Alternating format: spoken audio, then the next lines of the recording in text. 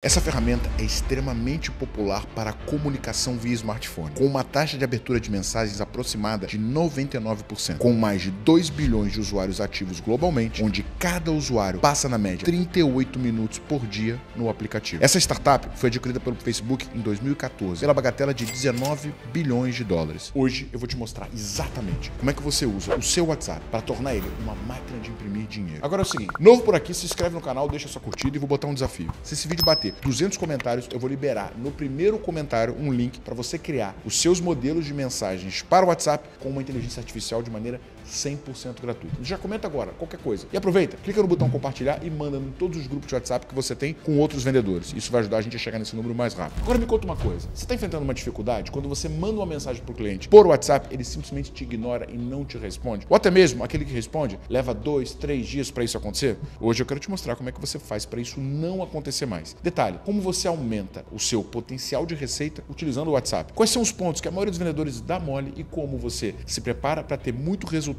usando o WhatsApp de maneira 100% profissional? Onde que a maioria erra? Primeiro de tudo, entenda que o WhatsApp é a ferramenta mais eficiente que existe para venda. É impossível você ignorar uma mensagem por WhatsApp. Por e-mail você nem presta atenção, pelo LinkedIn você ignora, na DM do Instagram muitas vezes você nem olha. Agora o WhatsApp é uma ferramenta de trabalho onde você está olhando o tempo inteiro. Chegou uma mensagem do WhatsApp, principalmente se a pessoa usa a notificação, a chance de eu parar para ler essa mensagem é muito grande. Então, você precisa usar de maneira profissional e isso vai te fazer ter muito mais resultado. Primeiro passo para você que trabalha profissionalmente é sair do WhatsApp pessoal e ir para o WhatsApp Business. O WhatsApp Business tem uma série de funções. Permite você estruturar perfil, mensagens automáticas, horário de atendimento e outras ferramentas que vão te permitir ser mais profissional e gerenciar melhor a tua rede de contato. Então, vai lá na tua Apple Store ou na tua Google Play e baixa o WhatsApp Business. Você precisa de um número diferente, tá? Que você usa para tua rede pessoal e para o que você usa no teu WhatsApp Business. Mas vai lá, coloca um número e começa a trabalhar de maneira profissional. Primeiro ponto que eu tenho que ter atenção, baixei o WhatsApp, agora a gente vai para o perfil. Quando você clica na sua foto, aqui tem uma série de opções de configuração, onde você vai colocar o teu nome, onde já está o teu número, nome da tua empresa, o horário de atendimento da tua empresa, que horas ela abre, que horas ela fecha, endereço, faixa de preço, uma vez que você tem um valor fixo, o seu e-mail, o seu site, o seu catálogo. Você consegue conectar com o seu Instagram pessoal e com outras redes sociais. Ele permite você deixar lá visível e a pessoa que chega recebe uma mensagem sua. Já pode ir direto no Instagram para ver se você de fato é uma pessoa séria e um recado que você pode deixar visível para as pessoas. Um ponto que muita gente dá mole é a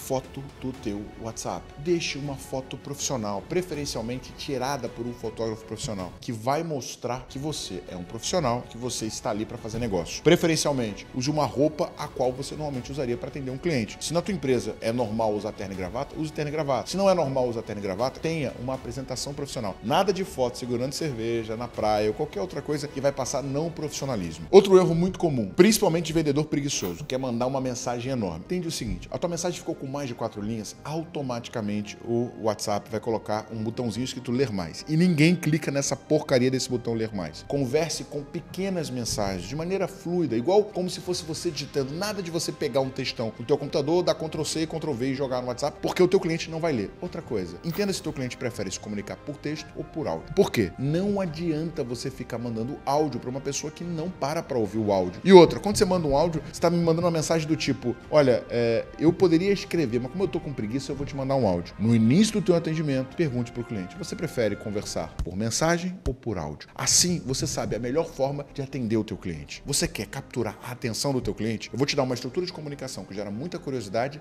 e alta conversão. Tudo começa com atenção. Se eu tô aqui trabalhando e você vai mandar uma mensagem, a notificação tem que quebrar padrão e atrair a minha atenção. Segundo, você tem que ser capaz de despertar o meu interesse. Atenção, interesse. Recentemente, ajudei uma empresa semelhante à tua a ter tal resultado. Depois que você atraiu a minha atenção e despertou meu interesse, agora é o momento de você criar desejo. Muitas pessoas, quando abordam pessoas por WhatsApp, tentam direto enviar o catálogo de produto, ou uma oferta, ou uma proposta. E não é assim que você vai ser eficiente. No lugar disso, desperte o desejo. Olha, até mesmo para eu saber se eu sou capaz de ajudar a sua empresa, seria interessante a gente combinar um bate-papo de 40 minutos, onde eu vou analisar o teu momento atual e te mostrar um caminho mais curto para resolver todos os teus desafios. Para fechar, chamada para ação, também conhecido como CTA. Quando é melhor para nós batermos esse papo? Amanhã às 2 horas ou quinta-feira às 16? O que, que eu fiz? Dei duas opções, mas chamei o cliente para um próximo passo. Esse framework que eu acabei de descrever é o também conhecido como AIDA: atenção, interesse, desejo e ação. Toda vez que você aborda um potencial cliente com essa estrutura, você tem uma taxa de conversão mais alta, principalmente quando o teu foco é levar ele para um bate-papo mais profundo. Nesse bate-papo eu vou explorar quais são as dores, quais são as necessidades. Eu vou fazer perguntas usando a estrutura de situação, problema, implicação e necessidade. Para quê? Para tirar o cliente do nível de consciência baixo, onde eu não sei que preciso disso, para um nível de consciência avançado, onde eu mostro para ele exatamente como ele vai para o próximo nível. Para mim tem duas utilizações centrais do WhatsApp: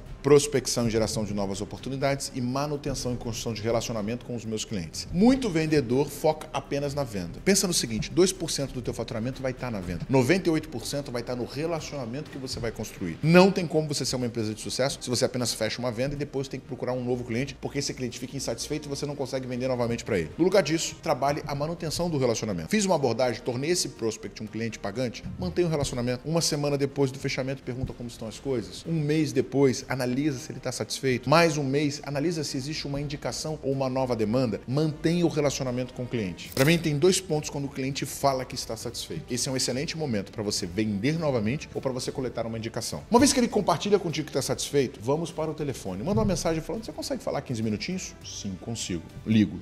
Durante a ligação eu vou falar: olha, antes de mais nada, eu quero dizer que eu estou acompanhando de perto aqui para saber se tudo aquilo que a gente negociou está sendo atendido. Agora eu queria te fazer um pedido. Tá? Uma vez que você está satisfeito, uma vez que você está feliz com o meu atendimento e com o atendimento da minha empresa, eu sei que você tem pelo menos quatro amigos que precisam de algo parecido com o que você ganhou. Detalhe: eu quero dar uma condição diferenciada para eles. Eu quero oferecer para eles benefícios específicos pelo fato deles terem vindo do teu relacionamento. Vamos fazer o seguinte: compartilha comigo o contato de quatro pessoas que você conhece, que você acredita que precisa de exatamente a mesma coisa que você contratou. Detalhe, vou te mandar agora uma mensagem para que você possa usar essa mensagem para dizer que eu vou entrar em contato com eles. Como é que seria essa estrutura da mensagem? A mensagem poderia ter uma estrutura mais ou menos assim. Recentemente fechei negócio com a empresa Growth Machine. Tenho gostado bastante do atendimento deles e estou surpreso com o resultado que eles vêm gerando para o meu departamento comercial. O Thiago, que me atendeu na época, perguntou se eu teria alguns amigos para indicar. Citei seu nome, porque eu lembro que aquela vez você me contou que tinha um desafio na tua ponta de vendas. Ele está disponibilizando um diagnóstico gratuito na tua operação e eu estou compartilhando seu contato com ele. Em breve ele vai te procurar. Você já manda essa mensagem pronta. Fala assim: olha, encaminha para essas quatro pessoas, porque eu vou pessoalmente falar com cada uma delas. O cliente encaminhou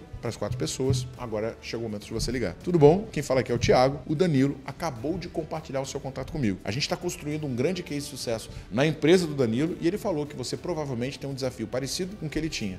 A cada quatro indicações, você vai ter uma média de duas oportunidades geradas. Isso significa que você tem uma taxa de conversão de mais de 50%, gerando oportunidades extremamente qualificadas que conhecem um cliente seu que está feliz e que vão alavancar o teu resultado. Se você conseguir para cada um cliente fechado trazer dois novos contratos, você exponencializa o teu faturamento, você triplica o teu resultado. Por quê? Porque você está conseguindo usar um canal de aquisição extremamente eficiente, de baixíssimo custo, que tende a ter taxa de conversão maior, ciclo de venda mais curto e praticamente zero custo de aquisição de clientes. Me conta aí, está preparado para revolucionar suas vendas com WhatsApp? O que mais você quer saber sobre vendas de WhatsApp? Comenta aqui embaixo. Lembra que a gente tem um desafio. Se bater 200 comentários, vou liberar uma inteligência artificial para montar as suas mensagens de WhatsApp. Para cima.